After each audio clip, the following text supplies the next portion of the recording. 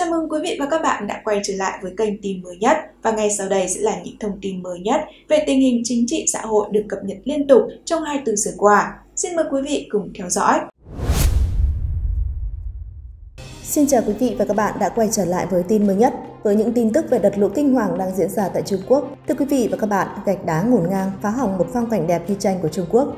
Một con mương khô cằn là thứ còn sót lại của một con đập khổng lồ một thời ở tỉnh Quảng Tây Trung Quốc, được tu bổ lần cuối vào 25 năm trước. Con đập đã bị lũ tràn qua vào tháng trước, gây ra thiệt hại to lớn, làm đường xá bị sụt lở, ruộng đồng bị ngập úng. Sự cố vỡ đập cho thấy sự lơ là khiến hồ chứa gánh chịu thảm họa. Nhưng có lẽ điều đáng lo ngại nhất là điều này cũng có thể xảy ra với một trong số khoảng 94.000 con đập cũ trên khắp Trung Quốc. Những con đập này có ở mọi lưu vực của sông và đồng bằng, hiện có mật độ dân số đông hơn nhiều so với khi đập mới được xây dựng. Ông Luo Piyuan, 81 tuổi, sống ở làng Sajisi, gần nơi có tàn tích của con đập bị vỡ. Hơn nửa thế kỷ trước, ông đã từng tham gia xây dựng đập. Chúng tôi không biết nó sụp đổ như thế nào. Trận lũ lụt rất dữ dội, dữ dội thực sự và chúng tôi chưa bao giờ thấy lũ lụt lớn đến thế. Lũ lần này thực sự khủng khiếp, nước tràn qua đập và thế là nó bị vỡ. Đập vỡ bởi vì mực nước quá cao, sau đó lũ quét vào làng của chúng tôi. Tôi chưa từng thấy ngập lụt như vậy trong đời. Lớn lắm, con đập được xây dựng vào năm 1965 bằng đất nện và được thiết kế để giúp cho tưới tiêu các trang trại tại Sajisi. Hồ chứa có thể chứa một lượng nước tương đương 78 bể bơi dùng cho Thế vận hội khi đập bị vỡ. Truyền thông Trung Quốc không đưa tin, nhưng trong chuyến thăm hồ chứa vào giữa tháng này, Reuters phát hiện ra rằng hầu hết chiều dài của đập khoảng 100 mét đã bị biến mất. Không rõ liệu đợt mưa lớn kỷ lục vừa qua có phải là nguyên nhân khiến cho đập bị vỡ hay không, hay đã có lỗi về thiết kế. Giới chức địa phương đã không trả lời yêu cầu bình luận. Tuy nhiên, Trung Quốc có thể sẽ sớm đón một cơn bão, thậm chí chí còn mạnh hơn nữa. Lũ lụt là một phần của cuộc sống ở Trung Quốc và trong lịch sử nước này đã trải qua rất nhiều trận lũ lụt nguy hiểm chết người. Nhưng các nhóm môi trường nói rằng biến đổi khí hậu đang khiến mưa lớn hơn và thường xuyên hơn. Chỉ riêng tại tỉnh Quảng Tây, dữ liệu chính thức cho thấy cả lượng mưa và nhiệt độ trung bình tăng lên đáng kể trong 30 năm qua. Từ đó nổi lên câu hỏi, liệu cơ sở hạ tầng của Trung Quốc có thể theo kịp biến chuyển chóng mặt của khí hậu hay không? Mỗi con đập ở đây đều trải qua khoảng 50 năm, ngay cả ở nhà thì qua 50 năm, dĩ nhiên cũng có nguy hiểm. Nếu bạn không sửa chữa và bảo vệ, thì các con đập sẽ không thể tồn tại lâu. Hàng ngàn con đập như thế này được xây dựng vào những năm 1950 và 1960 trong giai đoạn lãnh đạo cố chủ tịch Mao Trạch Đông nhằm chống hạn hán trong thời kỳ xã hội công nghiệp. Nhưng hơn nửa thế kỷ sau không rõ liệu các con đập có thể trụ lại được bao lâu. Một quan chức Trung Quốc tự phát biểu vào năm 2006 rằng nhiều đê nước đã bị sụt tại hơn 3.000 hồ chứa trong 50 năm qua do chất lượng không đạt tiêu chuẩn và quản lý kém. Nhận thức được rủi ro, nhà chức trách cho biết họ đang củng cố và cho nâng cao những con đập cũ, đẩy mạnh giả soát và lên kế hoạch xây dựng mới với khả năng tích trữ nước lớn hơn. Nhưng chỉ có thời gian mới trả lời được câu hỏi liệu các con đập ở Trung Quốc có thể kìm hãm được thảm họa và bảo vệ kế sinh nhai của hàng triệu người dân ở Hạ Lưu hay không. Quan chức Trung Quốc bị bắt vì giấu số người thương vong trong lũ lụt ở Hà Nam. Thưa quý vị, tỉnh Hà Nam của Trung Quốc hồi tháng trước đối mặt với một trận lũ lụt tồi tệ nhất trong hàng chục năm qua. Những cơn mưa xối xả kéo dài khiến nước sông dâng cao. Tại thành phố Trịnh Châu, lượng mưa lên đến 600 mm trong 3 ngày, tương đương với mức trung bình của cả năm trước đó, nhấn chìm các ga tàu điện ngầm và một đường hầm xuyên thành phố. Theo tờ The Guardian hôm vừa qua, trích dẫn một thông báo của chính phủ Trung Quốc cho biết một cuộc điều tra về thảm họa đã được tiến hành. Giới chức Bắc Kinh xác định một số quan chức chính quyền cấp tỉnh và cấp địa phương đã vô trách nhiệm để lại hậu quả nghiêm trọng. Các quan chức của tỉnh Hà Nam đã được xác định giấu 139 ca tử vong, trong đó 75 trường hợp ở thành phố Trịnh Châu. Các quan chức địa phương được yêu cầu thông báo về số lượng thương vong hàng ngày khi trận lũ lụt xảy ra, nhưng họ đã cố tình che giấu hoặc trì hoãn báo cáo 6 người chết và mất tích. Đến nay, 97 quan chức đã bị kỷ luật, trong đó có 8 người bị bắt giữ. Bí thư thành ủy thành phố Trịnh Châu ông Hứa Lập Nghị và cấp phó ông Ngô Phúc Dân đã bị cách chức. Theo Tân Hoa xã, trong 7 ngày bị lũ lụt, có tới 398 người đã thiệt mạng hoặc mất tích do lũ lụt ở tỉnh Hà Nam, cao gấp 3 lần con số được công bố ban đầu. Hơn 14,53 triệu người ở 150 khu vực cấp huyện đã bị ảnh hưởng bởi mưa lũ và hơn 30.000 ngôi nhà bị sập. Thưa quý vị, hãng tin Reuters vừa qua đưa tin một trận động đất mạnh 6,8 độ Richter đã xảy ra ở khu vực phía đông nam ít người trên đảo Đài Loan dẫn đến cảnh báo nguy cơ sóng thần. Trong khi đó, cơ quan khảo sát địa chất Mỹ lại ước tính trận động đất mạnh đến 7,2 độ Richter với tâm chấn sâu khoảng 10 km. Trung tâm cảnh báo sóng thần Mỹ đưa ra cảnh báo về khả năng có sóng thần.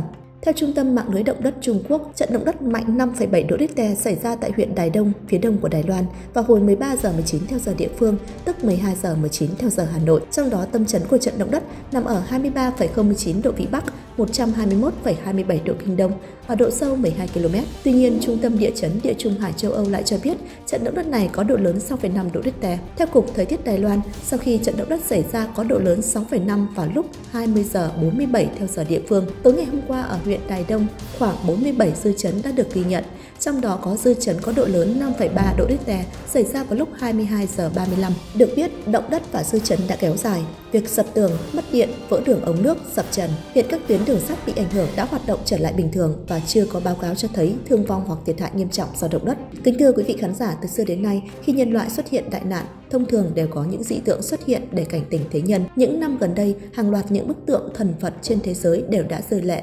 Vậy điều gì đang chờ đợi thế gian con người? Câu chuyện nước mắt hoa sen kể rằng trong một lần vây chiến, một binh sĩ đang muốn dùng súng bắn chết một vị lạc ma lớn tuổi. Vị lạc ma ấy đã nói với binh sĩ đó rằng, cậu có thể chờ một chút được không? Vị binh sĩ nói, sớm muộn cũng phải chết.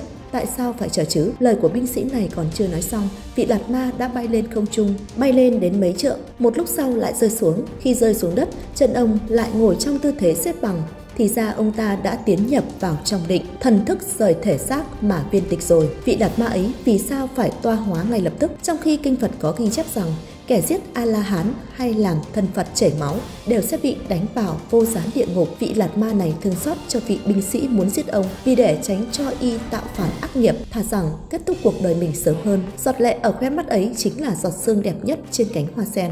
Tin rằng rất nhiều người nghe xong câu chuyện này đều sẽ cảm động bởi tâm từ bi của vị lạt ma đắc đạo này. Nhưng sau khi chảy nước mắt xong, tâm trạng người ta lại trở nên nặng nề. Trước hết chính là cảm thấy thương xót cho người lính này, dẫu rằng vị lạt ma đó viên tịch trước khiến cho y tránh được đại tội giết Phật.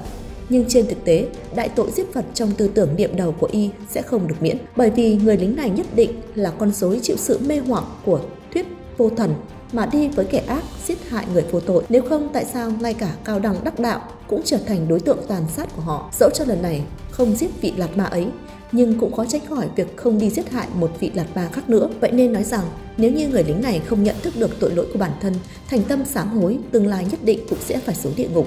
Ở những quốc gia có tín ngưỡng, dẫu là trộm cướp, cũng không dám xông vào tu đan viện để trộm cướp. Ở trên phố cũng không dám thô bạo với mục sư và tu nữ, càng không nói chuyện giết hại sứ giả của thần. Bởi vì đám cướp cũng tin rằng giết Phật, phỉ báng Phật sẽ là phải xuống địa ngục, là tội lỗi không được tha thứ. Có thể thấy những người bị vô thần, luận mê hoặc là đáng sợ, đáng buồn biết nhường nào. Câu chuyện này đã ghi lại giọt lệ từ bi của vị Phật sống.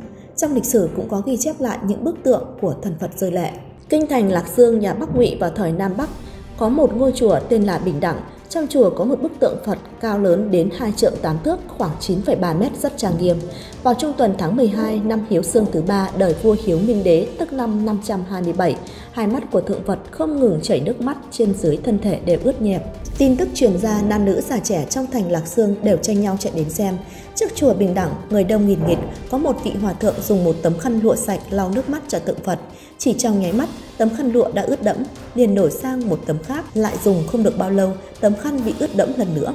Nước mắt tượng Phật chảy ra, không kể là lau như thế nào cũng đều không lau hết. Cứ như vậy, tượng Phật cứ mãi chảy nước mắt suốt 3 ngày mới dừng lại. Tháng 4 năm sau, Nhĩ Chu Vinh dẫn quân tiến công thành Lạc Sương, Hơn 2.000 vương hầu bá quan bị giết chết, người dân tử thương rất nhiều, không thể tính đếm. Tháng 3 Vịnh An thứ hai, năm 529 Hiếu Trang Đế, tượng Phật này lại bắt đầu chảy nước mắt người dân kinh đô lại dùng dập đổ xô đến xem. Đến tháng 5, Bắc Hải Vương Nguyên Hạo dưới sự giúp đỡ của nhà Nam Lương đã dẫn binh đến đánh Lạc Dương. Hiếu Trang Đế bị buộc phải lui về phía Bắc đến Sơn Tây.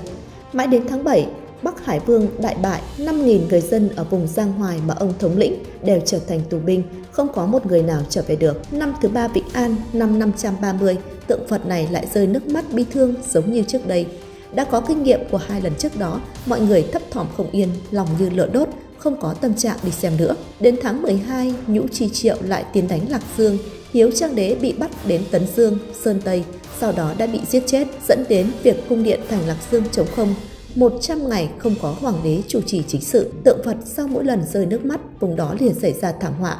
Có thể là giác giả từ bi đã nhìn thấy được kiếp nạn trong tương lai, và thông qua hình thức này đưa ra lời cảnh tỉnh đối với con người trong mê. Không chỉ có một mà thôi, hiện nay các nơi trên thế giới cũng đã đều xuất hiện một bức tượng lớn, sự kiện các bức tượng thần Phật chảy nước mắt, thậm chí là chảy máu. Ngày 31 tháng 10 năm 2005, bức tượng Đức Mẹ Maria trong giáo đường Thiên Chúa giáo ở thành phố Hồ Chí Minh, Việt Nam đã khóc chảy nước mắt hơn hàng mấy nghìn người đã nhìn thấy kỳ tích này. Theo hãng tin AB, vào cuối tháng 11 năm 2005, bức tượng Đức Mẹ Đồng Trinh Maria tại Sacramento, California của Mỹ đã rời lệ.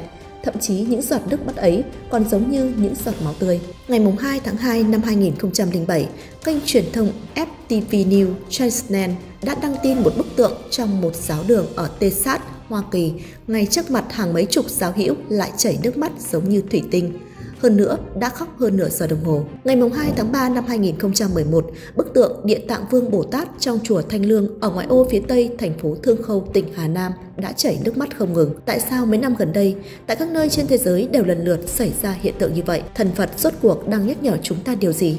Liệu trong tương lai sẽ xảy ra kiếp nạn như thế nào đây? Thông tin vừa rồi cũng đã kết thúc bản tin về tình hình lũ lụt tại Trung Quốc của kênh tin mới nhất ngày hôm nay.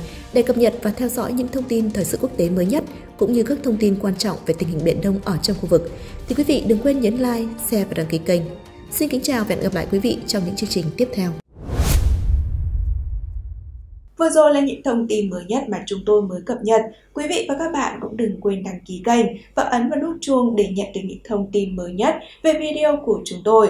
Cảm ơn quý vị đã quan tâm theo dõi. Còn bây giờ xin chào và gặp lại trong những video tiếp theo của chương trình.